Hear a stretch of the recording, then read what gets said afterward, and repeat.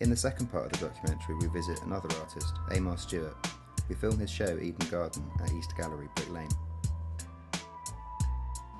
When I was at school, um, I studied art. You know, um, they would sort of almost. I felt like they would almost dictate to you, which is what you should do in art. You know, replicate another artist's style.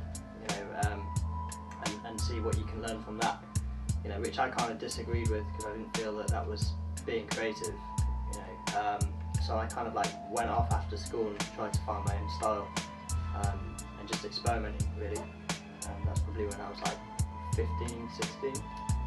Um, yeah, that was when I when I was based in the Midlands. I didn't really associate myself with many people purely because there weren't that many creative people in the small town that I was I was in. Um, so uh, I moved to sort of London and um, just kind of got in with the right crowd, I guess, and, um, fed off their creativity and got to where I am now. And no, definitely, there's definitely been um, you know a social element to it. I mean, the way that I kind of um, with my with my current work, you know, I definitely have to socialise with people, and you know, they you kind of explain what you do on the side as you know whether it be a hobby um, or you know ways to sort of you know hustle to make some extra money, and um, you know, ever since I was younger, I've always liked to work with people and try new things, but there's always been the problem of finding the right person to, to work with to come out with a really good end result. Um, and like you said, more recently, I have found that person to, to sort of really adapt my style and differ from my individual works that I've been doing. Yeah, I mean, probably you'll see from my from my works, they are quite dark, they're quite moody, and um, most of it comes from Asian film. Um, a lot of the sort of um, extreme sort of horror films that are out there, um, real dark music. Um, I'm not really not a dark person in general, but there's a side of me that I guess um, that pops out when I paint because you know I'm, I'm quite sort of reserved or and quite like happy going as it goes. But when it comes to artwork, I definitely like to sort of go a little bit, a little bit crazy with it. So, so yeah, probably to answer your question, Asian film, uh, black metal music, and um, and women.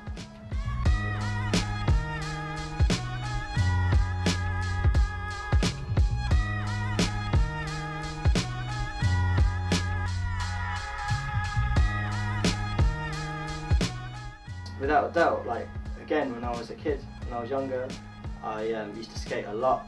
Um, messed up my ankle, so I don't really do it as much now because I have other commitments too.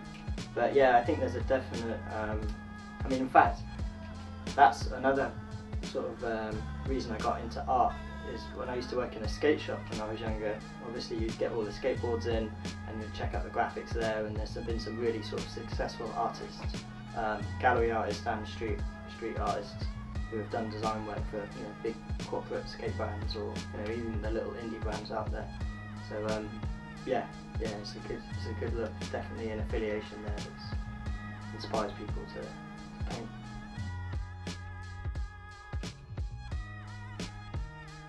I think there's so many forms of uh, so many forms of creativity out there that, that drives people to, to, to the art world. Um, you know, I don't know anybody who paints without listening to music. Um, I'm yet to find someone who does anyway, and um, I think that music really sort of brings out the style of artwork. Like if I was to paint the stuff that you guys have seen today, you know, like throughout the whole time I've listened to nothing but like metal music. But then, like last year, I did a show with Nike, with uh, Nike ID, and um, it, it was based on uh, Asian culture, and I had to sort of really step outside of my comfort zone and use a lot of bright colours. And to do that throughout the six months of painting, all I listened to was like hip hop and breaks, and um, you know I can kind of really sort of work a lot smoother with that kind of uh, relaxing sort of melody and, and all that kind of stuff. So. Um, I think patience is definitely something. Um, this day and age, there's so many people painting, uh, and you know some people call it crap. You know some people say it's not art, whether it be stencil or whether it just be sort of illustration work. Um, I don't really think that there should be a way to get into it. Um, it seems that you need to be accepted in, in certain genres of art that there is, you know, the street art thing. Um, I don't know if I'm really a part of that. I like to say that I'm creating my own niche, but um, all I su- suggest to anybody who wants to get into the art game is just to put a bit of time into it, or a lot of time into it, and dedication, and have a lot of focus. You know, if you ever want to succeed in the art world, you really got to put that time in. You know, those Friday and Saturday nights that I used to go out a lot and party and everything else. Um, I still do that a little bit, but I've got to prioritise if I want to take it seriously. So.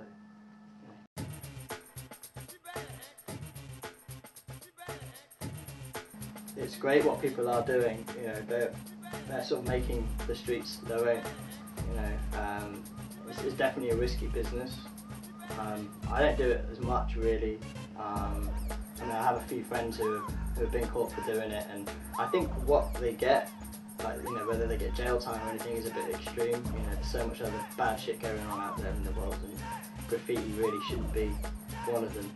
Um, but what I do say is, if you do it, you know, just uh, be prepared to pay the consequences because you know, especially here in London, you know, it's like Big Brother, you're being watched every minute of the day. So, um, you know, but at the same time, fair play, keep doing it. Know, it makes the place look a little bit colourful, more colourful than it is. Well, this piece here is actually done with uh, myself and Mr. Butler. Um, he's not here at the moment, but uh, he's an original sort of graffer, um, apart from what I am. Um, you can see he's kind of done he's done all the sort of hair work here and stuck with the clean lines. Um, and then I've sort of come in here to really yeah do the photorealism, realism, like you said. Um, that's something that I'm really trying to work on to, to, to kind of set. That's something I'm trying to set myself aside, you know, from the sort of traditional like graffiti, like you said. Um, create my own niche and uh, working with, with Mr. Butler is great because he can really bring that piece to life.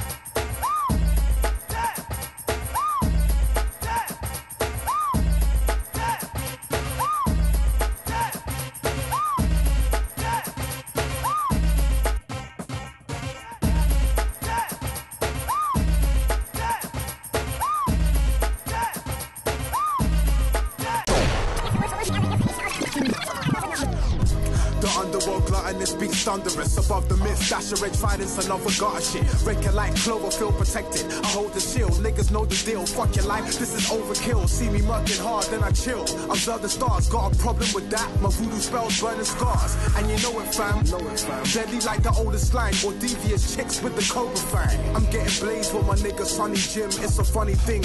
Can you hear the bone bubbling? Damn, he's gone nuts again. Burning pain from a metal pipe up on the roof, moonwalking like Mike. Gonna seize the moment, gonna do it today. Gonna make mad noise like the dude on Lewis and Wayne. I keep it bouncing like Spalding. While MCs be falling like leaves in autumn. I'm Raps Razor Ramon, I'm always breaking the mold. By now they should have had me on Westwood's radio show. Cause I'm in